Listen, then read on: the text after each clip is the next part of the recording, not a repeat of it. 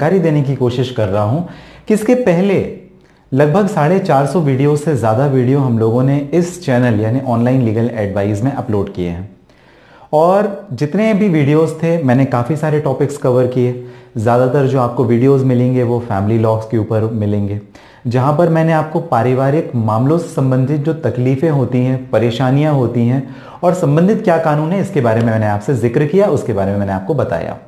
मैंने आपको child custody alumni क्या होता है मेंटेनेंस क्या होता है स्त्री धन क्या होता है डाइवोर्स का प्रोसीजर क्या होता है, शादी करनी है तो कोर्ट मैरिज कैसे की जाए, या जो नॉर्मल शादी होने के बाद कोर्ट मैरिज या रजिस्ट्रेशन का जो प्रोसीजर होता है, प्रक्रिया होती है, उसके बारे में मैंने आपको एक्सप्लेन किया। जुडिशियल सेपरेशन बताया रेस्टिट्यूशन ऑफ़ कॉन्जुगल राइट जहाँ पर पति या पत्नी एक दूसरे को छोड़कर चले जाते हैं, इसके बारे में बताया हाई कोर्ट में अपील कैसे होती? है बहुत सारे मैटर्स मैंने फैमिली रिलेटेड इश्यूज़ से कवर किए। कहीं पर भी मेरा इंटेंशन ये नहीं था कि लोग तलाक लें। जो आपसी सहमति तलाक प्रक्रिया आसान होती है, दोनों साथ में लेते हैं, लेकिन जो कॉन्टेस्टेड डाइवोर्स है, इतना जटिल प्रक्रिया है, इतनी आसानी से तलाक होता नहीं है, और जो प्रक्रिया मैंने एक्सप्लेन की, जो कानून में लिखी हुई है, उस हिसाब से आसान शब्द, आसान भाषा में आपको समझाने का, आपको बताने का मेरा प्रयास था। लेकिन मेरा प्रयास आपका घर तोड़ना कभी भी नहीं था, और आगे भी कभी नहीं रहेगा।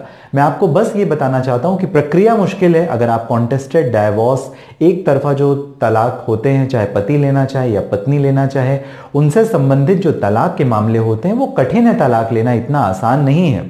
तो इसके बारे में मैंने आपको एक्सप्लेन किया। अगर आप सोच रहे हैं कि मैं आपको वीडियोस ज़्यादा जो वीडियोस होते हैं वो डाइवोर्स के ऊपर देता हूँ या फैमिली मैटर्स के ऊपर देता हूँ और मेरा इंटेंशन लोगों का घर तोड़ना या बर्बाद करना है, ऐसा बिल्कुल भी नहीं है। मैंने अपने किसी भी वीडियो में इंटेंशनली या इनडायरेक्टली ये हिंट नहीं किया कि आप अपना घर तोड़ें। मैंने केवल आपको प्रक्रिया बताई।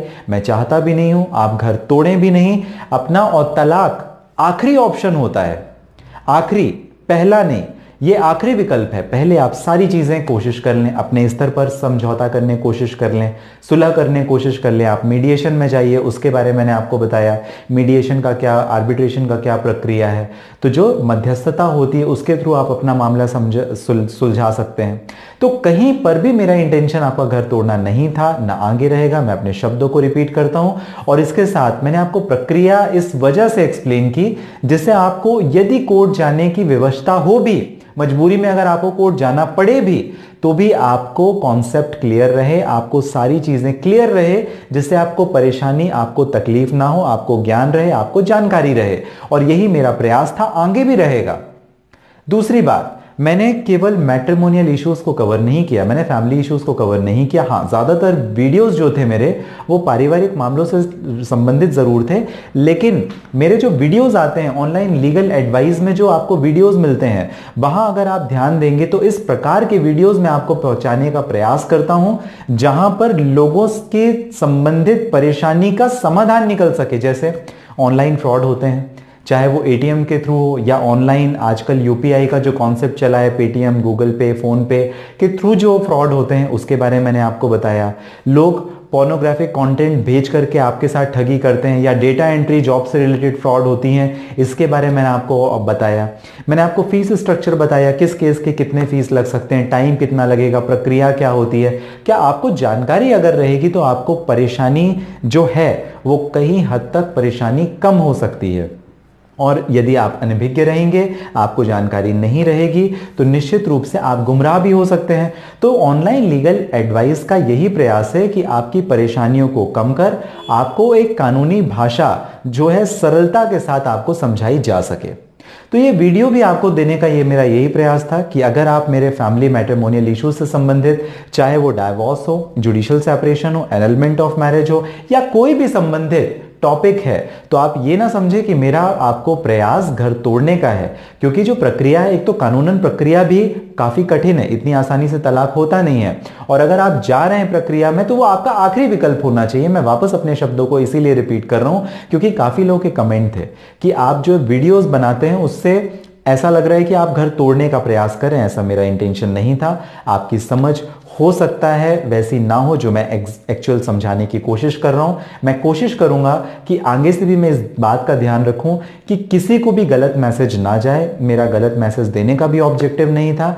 आपका जो विकल्प है, क्योंकि एक और मैं विषय बता दूँ, काफ़ी लंबे समय से मैं फैमिली लॉ में काम कर रहा हूँ तो मैं आप तक ये भी जानकारी पहुंचाना चाहता हूँ कि होता क्या है। आपको ये लगता है कि अभी जो आपके पति या पत्नी है, वो खराब है, इसके बाद जो आएँगे वो बेहतर होंगे इससे।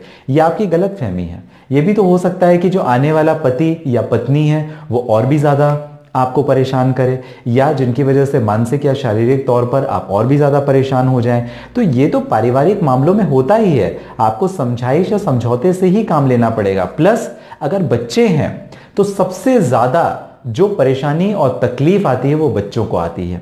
तो इस हिसाब से मेरी गुजारिश है, मेरा निवेदन है ऑनलाइन लीगल एडवाइस के साथ तो आप बने रहें, कानून की जानकारी भी आप लें, लेकिन गलत मैसेज आप ना रिसीव करें, जहाँ पर आपको ऐसा लगे कि मैं आपको उकसा रहा हूँ या प्रवोक कर रहा हूँ, मेरा इंटेंशन कभी भी ऐसा ना था, ना आगे रहेगा, घर जोड़ने का ऑब्जेक्टिव है, घर तोड़ने का ऑब्जेक्टिव हमारा नहीं है।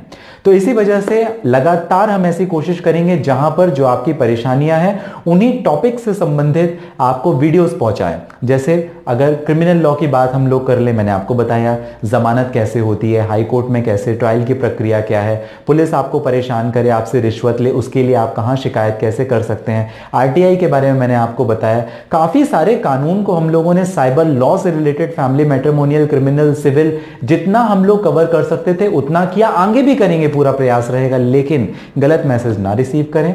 हमारा आपसे यही निवेदन है। हमेशा जो आप मुझे प्यार, आपका सपोर्ट देते हैं, इस सभी के लिए बहुत धन्यवाद। आप अशोक पांडे के साथ ऑनलाइन लीगल एडवाइस के साथ हैं और इतने ज़्यादा प्यार के साथ जो चार लाख से ऊपर सब्सक्राइबर हुए हैं। इसके लिए हमारे पूरे ऑनलाइन लीगल एडवाइस जो हमारा परिवार है, इन सभी का धन्यवाद। आप में से कुछ लोग नाराज़ भी हैं। जो नाराज़ हैं कमेंट बॉक्स पे ज़रूर मेंशन कीजिए। हमारी जो लीगल टीम है, वो आपको असिस्ट करेगी हेल्प करेगी कि आपकी परेशानी का समाधान हम कर सकें बेहतर विकल्पों के साथ, बेहतर तरीके से।